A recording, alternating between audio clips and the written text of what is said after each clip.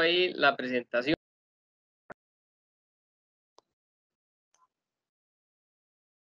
Yo sí la veo. Sí, sí se ve. Sí se ve. Sí se ve. Señor, sí se ve. Ok, vamos a ver. Un momento nada más para acomodar acá.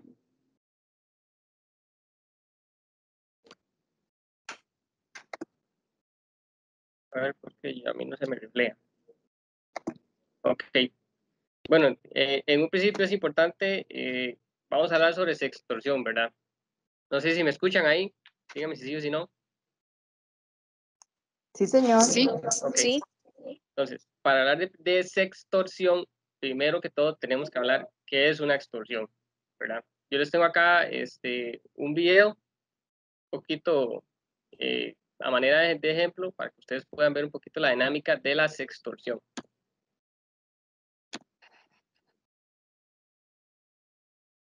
¿Todos se escuchan ahí?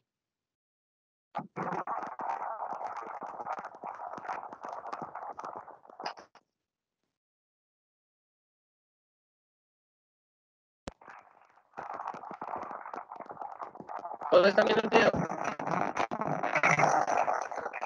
Se logra ver, Sí, pero, pero no se se escucha escucha, raro. como una interferencia.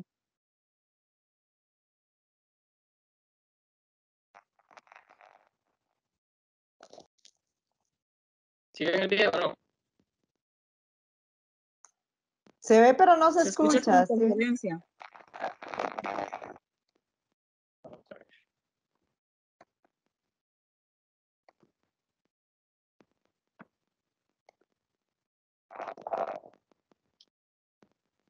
Ver. Cómo va.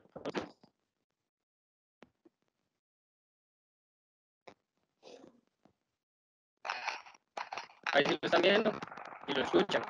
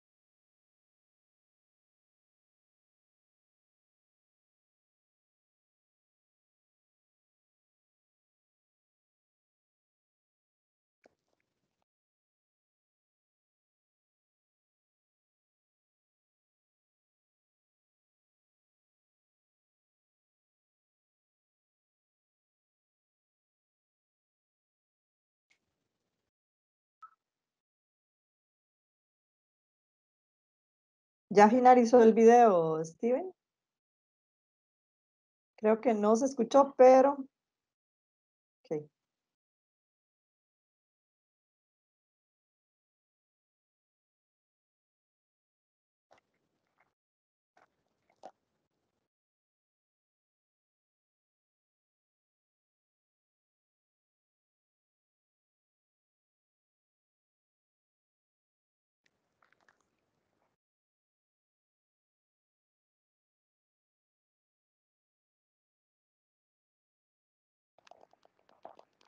Ahorita no estamos ni escuchando ni viendo, Steven. No sé si hay algo puesto.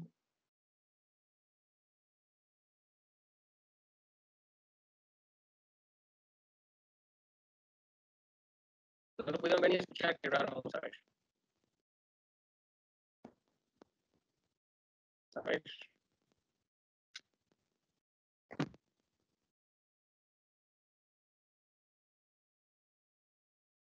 Sí, pero- vamos a ver.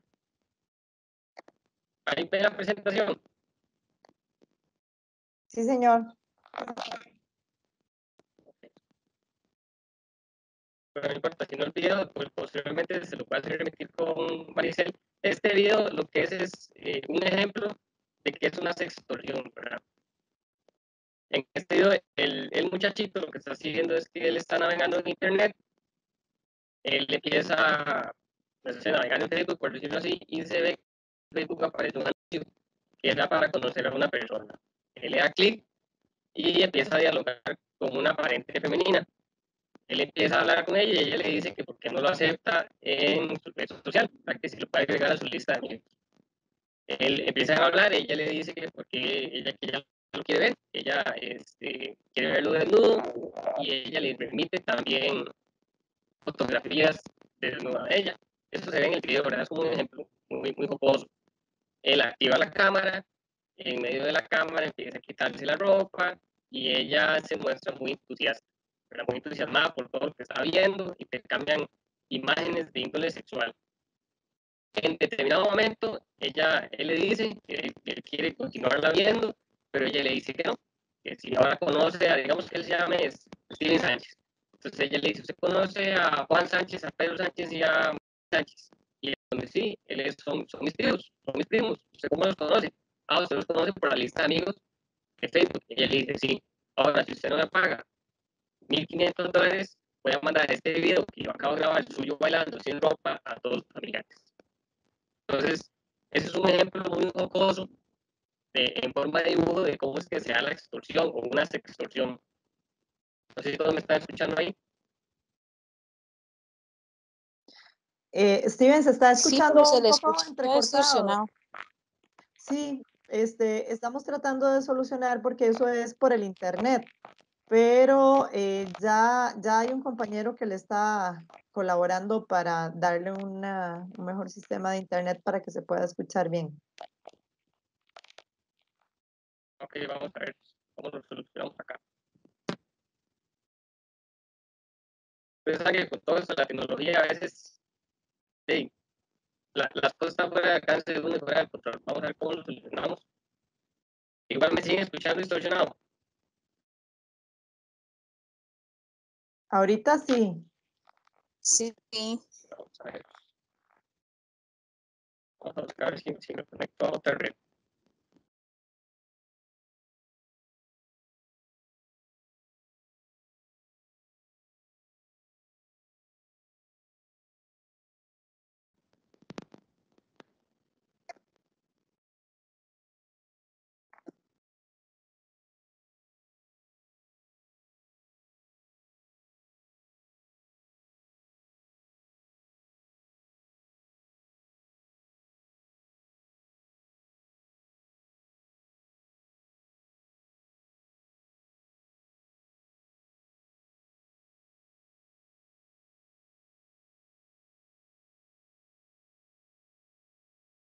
Buenas, ¿cómo es que se llama el conferencista? ¿Steven Sánchez qué? Steven Sánchez Alán. Alan. Sí, Alán. Es que no escuché el inicio de la presentación, gracias. Con gusto.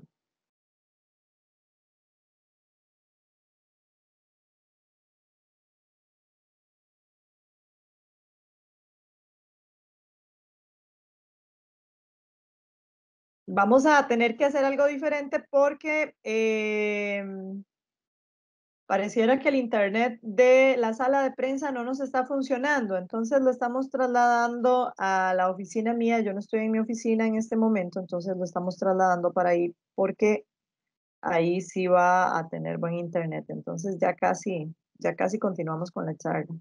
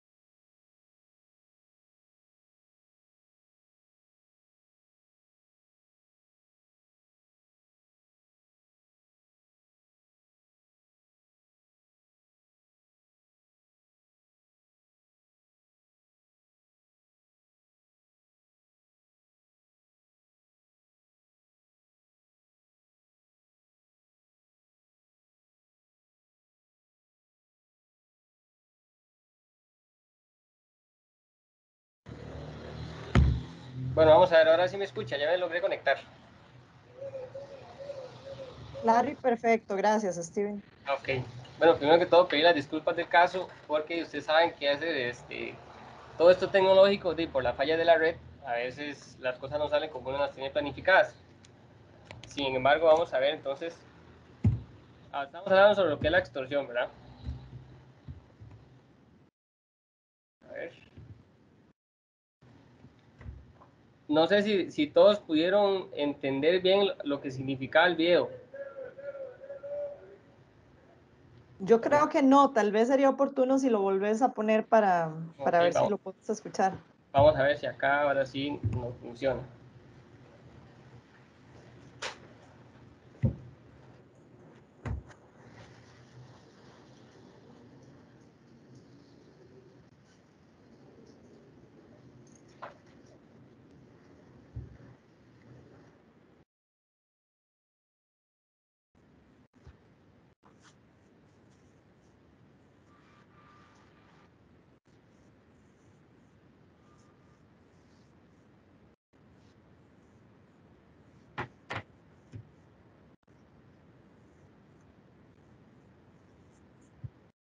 Creo que no le has dado play porque no se está escuchando ni avanza tampoco.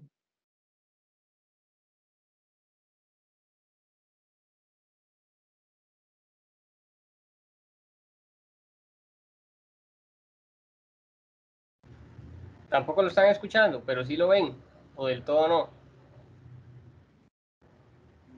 No, no se reproduce, no- ni se escucha. Ok. Vamos a buscarlo. Entonces, lo que podemos hacer es que yo les explico entonces el videito para no tener que complicarnos tanto con el video. El video consiste en que eh, el muchacho, como ustedes ven, él está en la computadora navegando de manera normal. ¿verdad? Él está en sus redes sociales. En determinado momento, él ve un link en la pantalla donde una persona está tratando de, de agregarlo para conversar. Él ve que es una muchacha que le atrae. Entonces se le da clic a eso y empiezan a conversar así de la nada.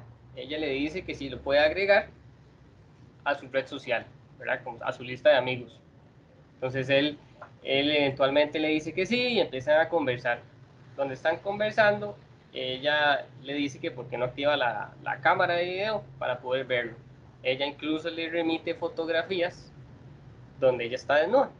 Entonces, él muy contento, pues él también activa la cámara de él y empieza a intercambiar fotogra- fotografías e imágenes de índole sexual. O sea, él se quita la ropa, le muestra sus partes íntimas.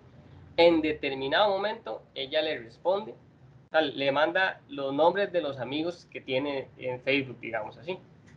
¿verdad? En determinado momento le dice, sí, sí, ellos son amigos míos, ellos son mis primos, ellos son todas las personas conocidas. Entonces ella le responde, ok, yo acabo de grabar el video que usted me mandó, el video en donde usted estaba desnudo, yo se lo grabé, y si usted no me paga 150 mil colones, este, digo, voy a tener que publicar todas esas, todas esas fotografías a, sus amigos. Entonces, obviamente, él en toda esta situación se pone muy nervioso y accede a pagar. Entonces, eso es un ejemplo, este, a manera muy, muy dinámica de cómo se da una sextorsión. ¿Todos me escuchan bien ahí para confirmar? Sí, señor. Ok. Entonces, eso, eso era el, el ejemplo de la, de la, del, del video. Ahora, antes de hablar sobre la sextorsión, tenemos que hablar primero sobre qué es. Y empezamos en, qué lugar se investiga. ¿verdad? Se investiga en la sección de delitos varios. Esta sección de delitos varios tiene tres unidades. La unidad de alerta temprana, que es la que ve todo lo que son desapariciones, todo lo que vieron bienestar animal, que el día de ayer mi compañera Lindsay les expuso de una manera muy bonita todo lo que era bienestar animal, la unidad de otros delitos, que vemos abuso de autoridad, que vimos todo lo que son usurpaciones, todo lo que son amenazas, eso es lo que ve la unidad de, otros delitos. Y la unidad de delitos contra la seguridad y- común y secuestros, que es todo lo que ve los delitos de secuestro, accionamientos de arma,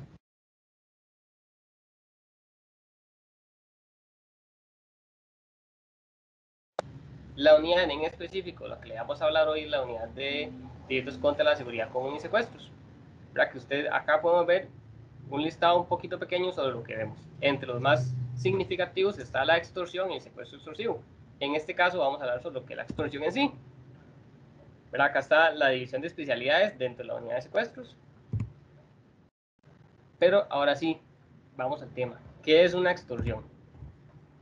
Según el Código Penal, primero tenemos que ver lo que es la coacción, que en el artículo 193 dice que será reprimido con prisión de 1 a 2 años o 50 o 200 días multa el que mediante una amenaza grave o violencia física o moral compeliere es como una obligación, como si obligar a otro a hacer algo que no tiene que hacer. Un ejemplo, ¿cómo podemos aterrizar esto? Es como que yo llegue y le diga a María, vea María, eh, sígame mandando fotos si no quiere que yo usted la vaya y la golpee, o si no quiere que la vaya a matar. Pero esto es una coacción, yo estoy obligando a otra persona a que haga algo que no quiere, a que, haga, a que salga conmigo, a que me mande fotografías, a que me mande videos, a que acceda a tener algún tipo de relación conmigo. Esto es lo que es una coacción, que es la extorsión. Eso es un delito muy penado en el Código Penal. ¿verdad? Está de 4 a 8 años. Al que para lograr un lucro, o sea, procurar, o el que, el que busca obtener algún tipo de beneficio económico mediante una intimidación o una amenaza, logra ese cometido.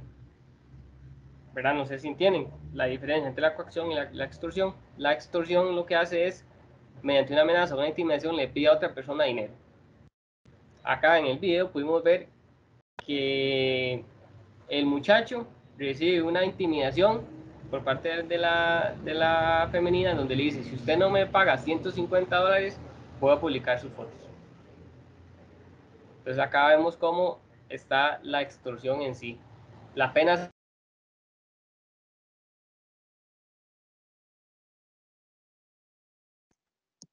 Eh, se fue el audio. ¿Y ahora sí?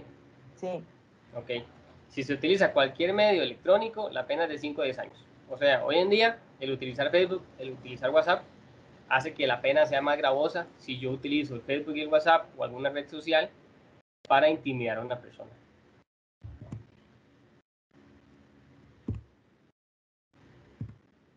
Ahora, en Costa Rica hay varias modalidades. Ya hay cuatro tipos. Está la extorsión simple, el préstamo gota a gota, que anteriormente hemos hablado, el cobro de peaje o tributo y la extorsión, que es a lo que venimos a hablar el día de hoy. Está la extorsión simple, que es cuando una víctima recibe alguna comunicación por parte de un sospechoso, quien le solicita dinero mediante amenazas de muerte sin motivo aparente. Entonces no sé si ustedes pueden ver la diferencia. En este caso, la extorsión simple es que yo estoy en mi casa, ando caminando y recibo una llamada donde me dicen, vea Steven, la verdad es que yo lo vengo siguiendo usted desde hace dos, tres días. Me pagaron por matarlo, pero si usted me paga 500 mil colones, yo no, voy a hacer, no le voy a hacer daño. Aquí vemos cómo me están amenazando y me están pidiendo plata, pero no hay ningún motivo. De la nada me están solicitando dinero y me están amenazando o sea, no hay ningún motivo para que yo diga, mira, esto viene a razón de que yo le debo tanta plata a alguien. O esto viene a razón de que yo le mandé fotos a una persona. Aquí no, no hay ningún motivo relacionado a ese cobro. Esa es la extorsión simple. préstamo gota a gota, que también se ha salido mucho en, redes sociales y anteriormente hemos hablado sobre ese, es cuando yo le solicito a un tercero dinero este tercero me lo presta con intereses muy altos, con que yo, por ejemplo, que solicite 100 mil colones y me dice, ok, sí, por esos 100 mil, usted tiene que pagar 25 mil colones a la semana solamente intereses. Y ustedes ven, de esos 100 mil al mes voy a pagar 100 mil colones más solamente intereses. El préstamo gota a gota es eso, ¿verdad? Es, es, son esos intereses altos y ese préstamo informal. Pero el préstamo gota a gota en sí no es delito. Lo que es delito es la forma en la que me cobran eso. Entonces, por ejemplo, si yo leo a Juan 100 mil pero me empiezo a casar y Juan me dice, vea, Steven, usted me dé 100 mil, en lugar de, como usted se atrasó ayer, ahora me dé 400 mil colones. Y como si no me los paga, lo voy a mandar a, le voy a mandar a disparar a su casa. O voy a matar a toda su familia. o incluso a veces le mandan fotografías de, la red, de una red social, digamos, como que le mandan una foto de perfil de Facebook y que le digan, mira Steven, qué bonita se ve usted y sus hijos. Entonces, esa es la intimidación para recoger el dinero que uno en apariencia debe producto del préstamo gota a gota. Entonces vemos que ya tenemos dos categorías, que es la extorsión simple y el préstamo gota a gota. Después está la otra modalidad, que es el cobro peaje o tributo. Acá en la presentación vemos cómo hay una, una noticia de hace unos dos o tres años que estábamos trabajando las extorsiones en el sector de, de Alajuelita, que varias personas estaban cobrando a los, a los taxistas y a, y a, los comerciantes dinero, ¿verdad? A cambio de, de venderles esa seguridad. ¿verdad? Les decían, vea, págueme 200 mil colones, o a veces les decían, bueno, por día págueme 2 mil colones y yo le prometo que le doy seguridad, yo le prometo que usted no la van a saltar porque yo soy que asalto aquí y si usted me paga no la voy a saltar a usted. ¿verdad? Entonces es el cobro, peaje, cobro peaje o tributo. Esta modalidad migra de lo que son maras y pandillas, de todo lo que es el Triángulo Norte, que es todos los países de Honduras, eh, Guatemala y El Salvador. Es una modalidad que es copiada de allá. Y vamos a lo que es la extorsión en este caso es que la víctima intercambia mensajes, fotos y videos de índole sexual en alguna red social o alguna aplicación de mensajería. Posteriormente, o incluso algún encuentro sexual con la persona sospechosa. Otra modalidad es que le soliciten dinero a cambio de no publicar las fotografías en redes sociales. Entonces acá venimos aterrizando qué fue lo que vimos en el video o qué fue lo que yo les expliqué. ¿verdad? Es cuando uno empieza a intercambiar imágenes de índole sexual y posterior a eso yo empiezo a recibir algún tipo de amenaza, o para pagar dinero o para continuar con el envío de, esas imágenes o incluso acceder a algún encuentro sexual.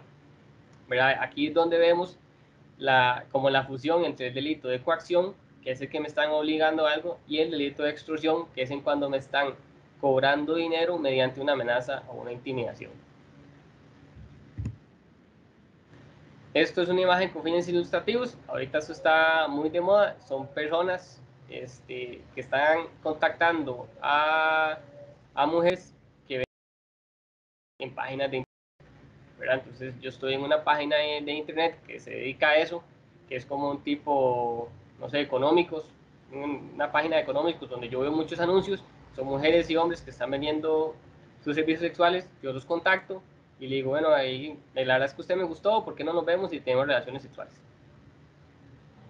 Lo que está pasando ahora, que esto es eh, una modalidad que viene en crecimiento, es que las personas contactan a esa aparente femenina y posterior empiezan a recibir mensajes de un aparente sicario o de una persona que dice que es el proxeneta de, de las mujeres con las que uno contactó. Y como las empezó a contactar y no contrató ningún, ningún servicio, ahora tiene que pagar una multa y lo empiezan a amenazar de muerte, le mandan imágenes de cuerpos desmembrados, de personas que están matando a alguien mediante disparos, le mandan videos y le dicen, si no quiere que usted le pase esto, tiene que pagar tanta cantidad de dinero, tiene que hacer un depósito de dinero. Entonces, esta, si ustedes pueden leer ahí toda la conversación, es, una, es un pantallazo de WhatsApp en donde le están diciendo eh, a, la, a, la, víctima que tiene que pagar, que es una multa, que como estuvo molestando a todas las femeninas, y ahora tiene que hacer un depósito en tal lado. Si ustedes ven, esta es una imagen con fines ilustrativos, no es de ninguna investigación que se está llevando en curso. Ahora, ¿cuáles son los medios de contacto? Evidentemente, en esta época de pandemia, eh, todo lo que son los medios electrónicos y el Internet se ha potencializado ¿Qué significa esto? Que ahora estamos en la casa, estamos hablando más por WhatsApp, estamos hablando más por Instagram, por Snapchat, por Facebook o por cualquier otro tipo de red social. Entonces ahí empezamos a conocer a personas que evidentemente solo estamos viendo una fotografía, detrás de la, de la computadora no sabemos quién está. Entonces los medios de contacto en tipo de extorsión es o por redes sociales, todas las redes sociales que ustedes conozcan y las que van a seguir apareciendo, las páginas de citas por internet, que también hay una gran cantidad de, de, opciones, ¿verdad? Donde hay páginas de citas tipo económicos, como, le, como, como dije anteriormente, y el intercambio de, fotografía, de fotografías íntimas con una persona en sí. Por ejemplo, que yo conozco a, María y empiezo yo a hablar con María y en determinado momento yo empiezo a mandarle fotografías a María. Puede que yo tenga esposa y que María me diga, vea, Steven, la verdad es que hey, si usted no me paga tanta cantidad de plata, voy a ir donde su esposa a decirle que usted le fue infiel y que usted anduvo conmigo, pero entonces, si me paga, no hago nada. Entonces aquí vemos cómo uno puede estar expuesto a este tipo de situaciones, ¿verdad? Hay que tener muy claro que el hecho que se ponga una denuncia, que se haga una investigación, que se hagan detenciones, no significa que esas fotografías no vayan a ser publicadas, ¿verdad? O que esa información sensible para uno no va a ser publicada. ¿Por qué? Porque al ser una imagen que uno remite a otra persona, que uno envía a otra persona, al, al irse del control mío, ya se pierde el seguimiento. ¿Qué puede ser esto? Que yo, se yo le envíe una foto a María, puede que María en ese momento se lo mande a 10 contactos. ¿verdad? Entonces no hay control de todo lo que uno sube en redes sociales. Por eso hay que tener muchísimo cuidado de toda la información y fotografías que uno sube a sus redes sociales, que sube a Facebook, que sube a WhatsApp. Cualquier, cualquier imagen o cualquier información que uno suba a Internet ya es muy manipulable. Ya se pierde el control sobre quién lo ve, quién no lo ve. Entonces vemos que esos son los medios de contacto. Redes sociales, páginas de citas de Internet para tener relaciones de índole sexual y el contacto con algún tercero en donde uno accede a hacer un intercambio de fotografías. Formas de pago. Si ustedes ven acá en la imagen, esa B que ustedes ven ahí es la B de Bitcoin. Eso que es, es una, es una criptomoneda, es una moneda virtual. Se han, se han visto también un incremento en extorsiones en donde solicitan eh, el pago mediante moneda virtual. Vean, ahorita el Bitcoin está, un solo Bitcoin cuesta como unos 10 mil dólares en el mercado. Es una moneda muy fluctuante, ¿verdad? Entonces a veces está en 10 mil dólares, a veces de un día a otro va a 2 mil dólares, a 300 dólares. Entonces, las formas de pago en este tipo de extorsión varían, ¿verdad? Como podemos ver acá, a veces piden dinero efectivo, a veces piden una transferencia bancaria, a veces un depósito bancario, que no es lo mismo, a veces envío dinero con empresas como Western Union, MoneyGram, Teledollar, todo este tipo de, de, de, remeseros, por decirlo así, en donde uno puede remitir videos, en donde uno puede remitir, perdón, eh, dinero a personas tanto dentro del país como fuera del país y le cobran una comisión. También están los depósitos de moneda virtual. Acá podemos ver algunos que son los que son más famosos, que son los bitcoins, el Litecoin y Monero. son, hay un montón de monedas virtuales, pero esos son los más utilizados.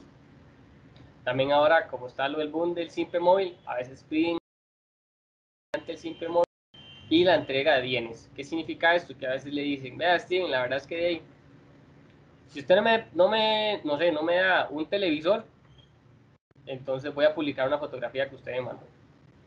O si usted no me da un teléfono celular, voy a ir a publicar una fotografía. ¿verdad? Esto es en el lado de la extorsión. En el lado del préstamo gota a gota, también a veces le dicen, bueno, págueme 100 mil colones si no quiere tomate. Y la persona dice, bueno, es que yo no tengo plata. Ok, entonces voy y voy a sacar la, la refrigeradora o la lavadora que tiene usted en su casa. Pero entonces podemos ver cómo a veces la, los delincuentes lo que buscan es dinero, los que buscan es bienes o mercadería que puedan transformar en efectivo. Entonces, todo el tipo de, de, métodos de pago que nos pueden solicitar son estos, incluso hasta muchos más, ¿verdad? Eso es desde el lado de la extorsión, desde el lado de la coacción, nos pueden decir, encontrémonos otra vez para que tengamos relaciones. Pero entonces aquí podemos ver como aparte que me están obligando a tener relaciones con una persona, podemos ser víctimas de abuso sexual, víctimas de violación sexual. Entonces aquí vamos sumándole más delitos al, a, como al paquete, por decirlo de esa manera. Eh, de manera al enviar primero que todo fotografías y a encontrarnos con personas que no conocemos. ¿Qué, ¿Qué, es lo que ha pasado? Que a veces conocemos a alguien en una red social, digamos, no sé, Facebook o incluso hasta Tinder, conocemos a una persona y accedemos a, a, a encontrarnos con, con, ellas. Recordemos que no sabemos quién es el que está al otro lado, pero no sabemos si esa fotografía es un hombre, es una mujer, si son 10 personas que son organización criminal organizada para, para extorsionarme o que me quieren secuestrar o que quieren privarme de libertad. Entonces, en estos tiempos de pandemia, al utilizar tantísimo las redes sociales, este tipo de, de delitos se ha incrementado, porque estamos más expuestos a, a, eso, ¿verdad? Somos más vulnerables. A veces el estar solos en la casa, ojalá alguien que esté con cuarentena, por toda esta razón de la, de la pandemia, empieza a tener mucho más contacto por redes sociales. Y a veces conoce a una persona X y empieza a intercambiar, a intercambiar fotografías. Y ahí es donde exponemos y nos mantenemos en un estado de vulnerabilidad. Y la idea es evitar eso. Ahora, ¿qué hacer si yo soy víctima de extorsión? Aquí vamos a hablar sobre la extorsión en general, incluyendo las cuatro modalidades, que era simple, el préstamo gota a gota, la sextorsión y el cobro de peaje. Primero que todo es mantener la calma. Yo sé que a veces es medio complicado porque estamos recibiendo amenazas, estamos recibiendo una intimidación en donde nos dicen, bueno, tiene media hora para que usted pague. ¿Qué hay que hacer? Primero tratemos de mantener la calma, hay que escuchar con atención lo que el extorsionador le está diciendo. ¿Por qué hay que escuchar con atención? Porque a veces podemos entender un acento Ahí podemos empezar a identificar un poquito mediante investigación de qué nacionalidad son, ¿verdad? Hay que escuchar qué es lo que, qué es lo que hay atrás de esa conversación. Si ustedes escuchan carros, si ustedes escuchan personas hablando, si escuchan más bien que está eh, como en un eco. Entonces, todo eso forma parte de la investigación, pero que ustedes como ofendidos son los que van a dar los recursos, ¿verdad? Es diferente que yo le digo, bueno, cuénteme, Juan, ¿qué fue lo que usted escuchó en la llamada? y me dice, no, es que yo solo escuché que me estaban cobrando plata. Y era un hombre, una mujer, era un hombre. Ok, ¿cómo era la voz? Era una voz ronca, era una persona joven, porque a veces uno mediante la voz puede identificar ciertas, ciertos grupos de edades, ¿verdad? Hay personas que del todo no ponen mucha atención, también por el nerviosismo, a esa conversación. Pero es importantísimo tener esos detalles, ¿verdad? Si es hombre, si es mujer, si la voz era ronca, que escuchaba uno atrás, incluso el acento si, si existe la posibilidad, tratar de grabar la conversación. Uno puede poner ahorita el altavoz, con otro celular grabar, grabar la conversación. Si son mensajes de WhatsApp, tomarles pantallazos. Si son audios, de igual manera, remitir el audio a una persona de confianza. La idea es empezar a, a capturar este tipo de amenazas, ¿verdad? Porque eso es lo que va a servir a la, a la, a la investigación en sí, ¿verdad? Porque si ustedes a mí me dicen, Sting, la verdad es que me estaban extorsionando, pero yo borré la conversación.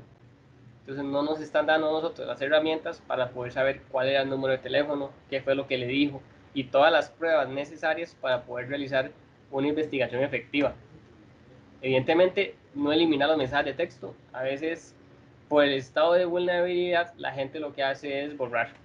Por ejemplo, si yo es que estoy siendo infiel y a razón de esa infidelidad es que me están cobrando plata y me están intimidando, eh, la gente lo que hace es borrar la conversación entonces recuerden que al borrar la conversación dificultan un poquito la investigación. Llevar una bitácora de llamadas con horas y fechas, eso por lo general está en el teléfono, ¿verdad? En el registro de llamadas. dicen, ok, a mí me llama un número privado, pero el número privado me llamó a las 10 de la mañana del día 17 de noviembre. Entonces es una bitácora que uno puede llevar incluso en el mismo teléfono, ¿verdad? En el mismo teléfono, en el blog de notas, ustedes pueden poner, me llamaron, me dijeron tal cosa, a esta hora y este número de teléfono. ¿verdad? Siempre después solicitar dinero al extorsionador para tratar de contactar a la policía, para solicitar tiempo, perdón. Se le pide tiempo mediante, una negociación efectiva, ¿verdad? Llegar. Aquí la idea es no confrontar, no, no tratar de en, una conversación ponerse a discutir con la otra persona, porque a veces eso va, lo que va a hacer es que eleven el nivel de violencia para que ustedes se sientan más intimidados, se sientan más amenazados y accedan a entregar dinero o accedan a enviar más fotografías. Entonces siempre es acercarse a, a, la, a, la, oficina del OIJ más cercana. ¿verdad? Hay que, como le dije, hay que ser muy inteligentes, hay que tratar de manipular un poquito. ¿verdad? Siempre es tratar de hacer eh, que la conversación sea en acompañamiento de una persona que tenga conocimiento en el tema. Entonces, ¿cómo podemos hacer eso? Si ahorita me están ahorita llamando y me están pidiendo plata y me están solicitando dinero, acercarse a la oficina del OIJ más cercana. Recuerden que el OIJ está abierto los 365 días al año. las 24 horas del día. Entonces, a cualquier hora, pueden ser las 2 de la mañana, puede ser un domingo a las 2 de la tarde, a cualquier hora ustedes se pueden acercar a cualquier eh, oficina del OIJ que están en todo el país para que alguien los asesore sobre esta situación, ¿verdad? Porque no es lo mismo que ustedes eh, empiecen a hablar con un extorsionador si, si ustedes no tienen el acompañamiento o la asesoría de un investigador a que lo hagan solo. Entonces, este tipo de cosas siempre es importante denunciar. A veces la gente siente mucha vergüenza, ¿verdad? Porque dicen, la verdad es que yo estuve contactando a, a una trabajadora sexual y ya ella me empezó a extorsionar y le va a contar a mi familia. A veces la gente siente vergüenza, siente pena por este tipo de situaciones. Sin embargo, tenemos a nivel de OIJ, a nivel nacional, personas muy capacitadas, personas profesionales que se van a dedicar de lleno a la investigación sin juzgar, porque al fin y al cabo uno no juzga las situaciones, uno lo que hace es investigar los hechos. Eso tiene que quedarle muy claro. Pero entonces, cualquier tipo de situación que ustedes estén viviendo, por más, por más vergonzosa que sea, es importante que ustedes se acerquen a la oficina de OIJ más cercana, primero para denunciar y segundo para que ustedes eh, eh, reciban esa asesoría que es tan necesaria en este tipo de delitos. Ahora, ¿cuándo interponer denuncia y cuándo no? Eso estamos hablando ya a nivel general de lo que es la extorsión. Que cuando no es un delito, cuando existe una deuda por préstamo y le indican a la víctima que pague lo adeudado.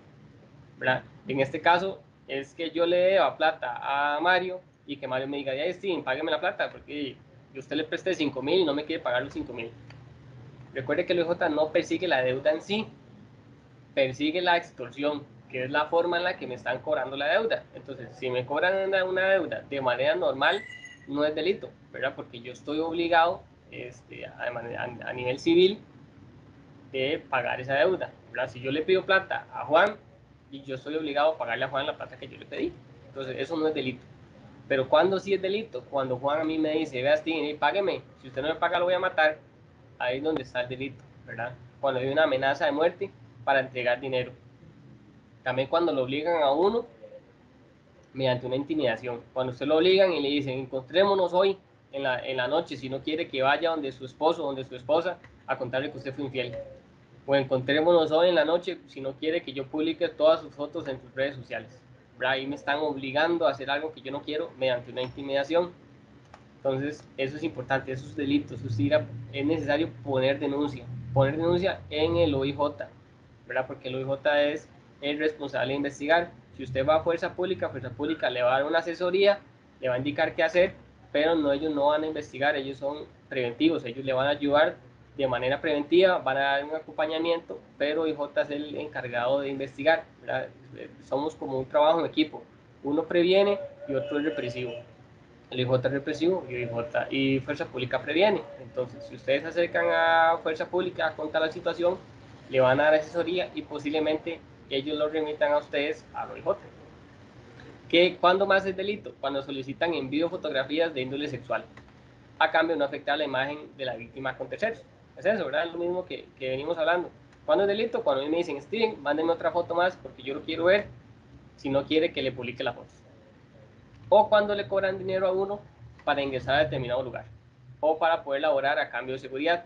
¿verdad? Entonces eso es cuando yo soy un pulpero, a mí llega alguien y me dice, ay Steven, voy a cobrarle 5 mil colones por día para darle seguridad para que nadie lo asalte. Pero a menos que yo sea que yo esté contratando una empresa de seguridad para eso, está bien, pero si llega un tercero y me dice, hey, pa, si usted no paga, lo voy a saltar, ahí es donde es delito, ¿verdad? Esta es la modalidad de cobro, peaje o tributo. Entonces vemos cómo la extorsión, a pesar de sus cuatro modalidades, que son la extorsión simple, el préstamo gota a gota, eh, la extorsión y el cobro peaje, se parecen muchísimo, pero todos son delitos, ¿verdad? Y todos son importantes acercarse al OIJ cuando estamos siendo víctimas de, ¿verdad? Cuando alguien nos amenaza o nos intimida para solicitar dinero.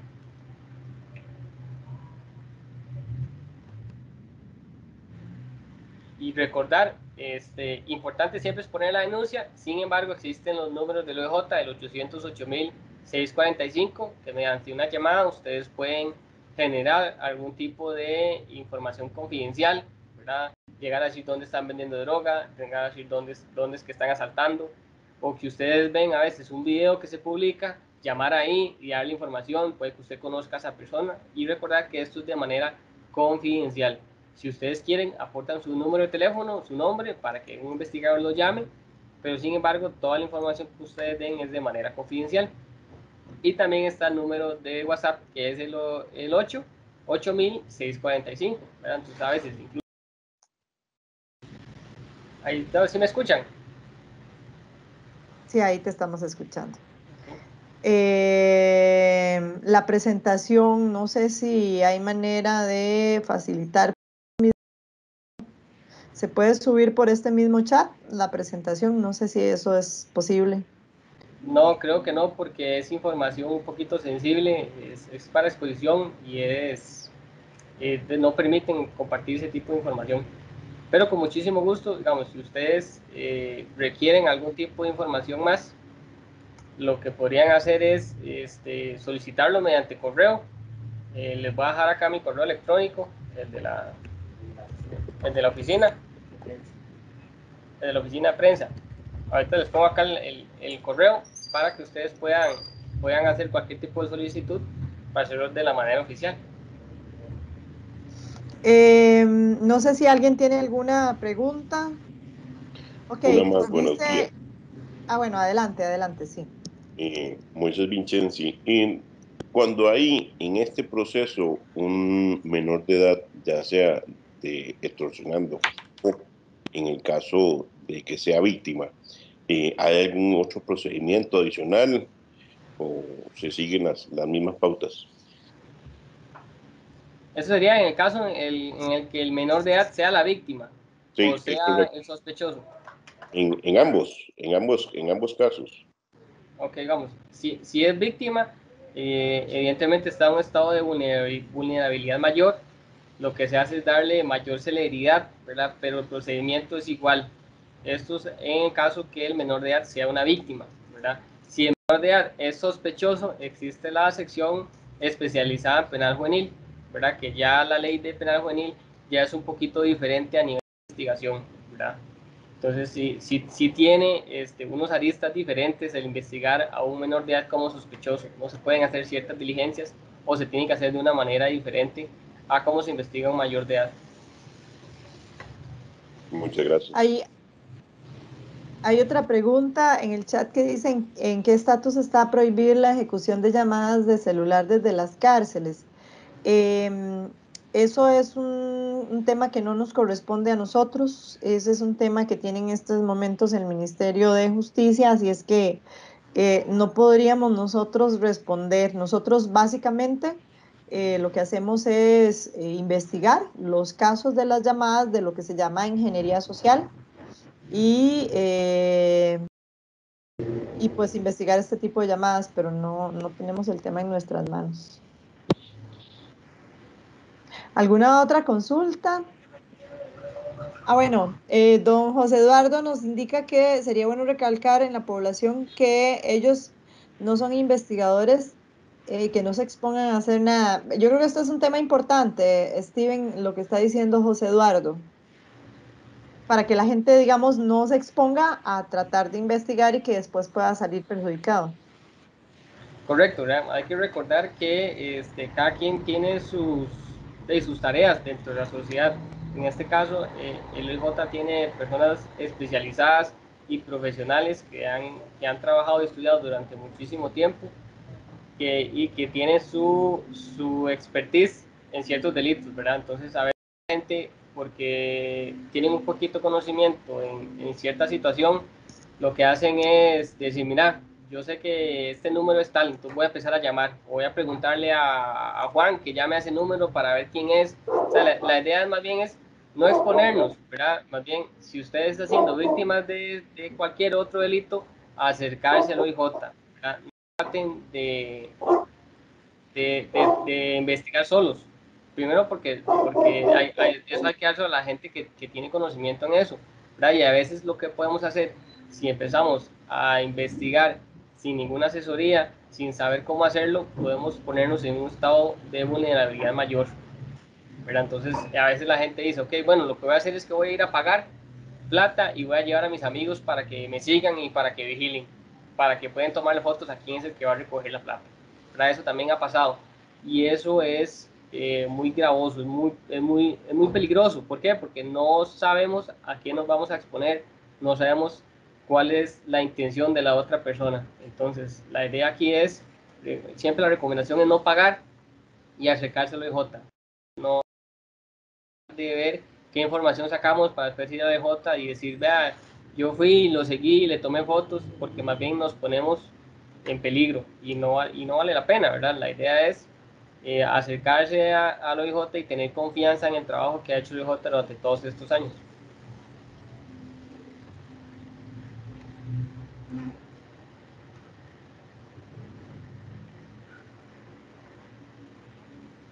Ok, veo que, vamos a ver, aquí alguien tenía levantada la mano. Eh, buenos días, soy yo. Buenos días. Eh, quería hacer una consulta. ¿Qué pasa si las llamadas de extorsión se hacen desde, desde el teléfono de un menor de edad? Eso habrá que ver durante la investigación, ¿verdad?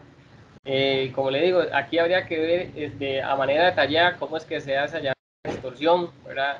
Si fue la persona menor de edad, si fue que utilizaron su teléfono, si fue que más bien eh, activaron un teléfono a nombre de una persona menor de edad, entonces habría que ver a, a profundidad el caso en sí. Sí, eh, yo pregunto porque como ahora ya conecta la línea, siendo el joven menor de edad, eh, no es como antes que tenía que ser uno mayor de edad para poder conectar una línea, ahora ya lo están haciendo así. Entonces muchas veces está pasando, ¿verdad? Que llaman de teléfonos de personas menores de edad.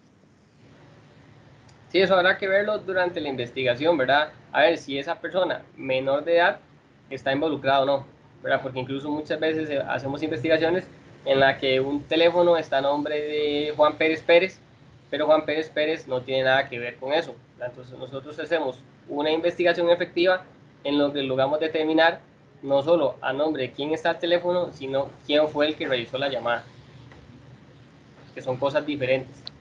Ok, bueno, muchas gracias. Con gusto.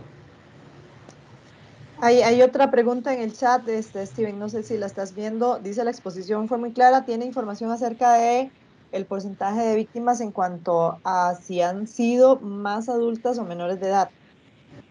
Ok, el, porcentaje que se manejaba era a principios del 2020. Eh, evidentemente, el, de este tipo de modalidad, la mayor cantidad de víctimas son hombres entre la edad de los 25 a los 42 años en esta modalidad de extorsión, ¿verdad? Que es la sextorsión. Eh, con respecto a menores de edad, por esta modalidad es un porcentaje muy bajo. Hay que recordar, ¿verdad? Que también puede haber algún tipo de cifra negra que al ser menor de edad eh, de no se acercan a denunciar o no les comentan a sus padres. Porque hay que tener en cuenta que es una, una, una, una población vulnerable, ¿verdad? Entonces, ellos son los que podrían estar más expuestos a este tipo de delito, pero eh, desdichadamente muchas veces por vergüenza o por miedo a que los regañen, no se acercan a OIJ, no les cuentan a sus papás. Pero sí es un porcentaje muy bajo de menores de edad que denuncian.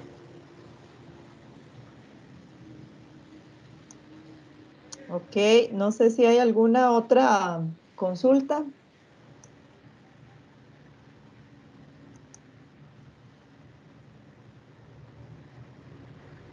No. Bueno, creo que no. Muchas gracias, Steven. No, con mucho gusto. Y muchas gracias a todas las personas que se han quedado con nosotros en esta charla. Les recordamos que eh, en breves 20 minutos vamos a estar con otra charla sobre las dinámicas emocionales que utilizan los ofensores sexuales y su impacto en las víctimas. Eh, y durante el día igual vamos a tener el tema sobre delitos sexuales eh, presente en todas las charlas. Tenemos otra a las 2 de la tarde y otra charla a las 3 y 30. Así es que les invitamos, si gustan pueden quedarse de una vez en la sala y, eh, y si no, pues conectarse ahora en, en, en, breve. Muchas gracias Steven y bueno, pues eh, excelente el tema. Muchas gracias, estamos para servirles. Que tengan buen día. Gracias.